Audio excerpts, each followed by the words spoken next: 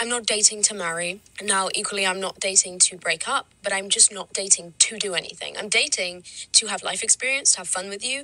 I'm dating because I like you, and I'm dating because we're here right now.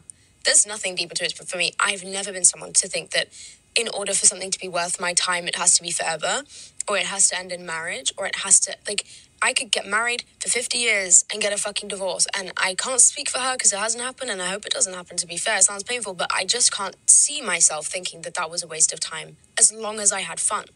You know? I've never understood when people get out of a relationship and they're like, I want my fucking time back. Why?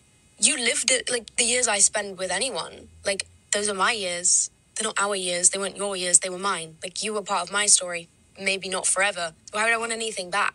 You know, like those years don't have your name on them. You're just somewhere in there. And it, it's so weird. I don't know. I've just never had that mindset, I guess. So basically, I don't.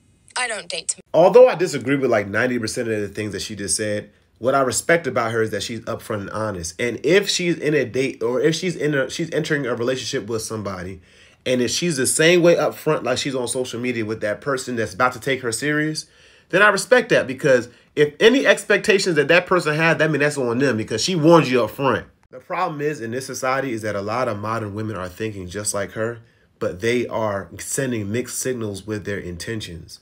So they feel just like her and they think just like her, but they make you believe that it's going to be is something totally different. And that's just not modern women, that's men, modern men as well. My stance is why would you get married with an exit plan? You should, if you're going to go as far as to take vows and do all those type of things and have a big old celebration day, why would you have an exit plan? You should always be thinking about anything you can do as a solution to maintain the marriage.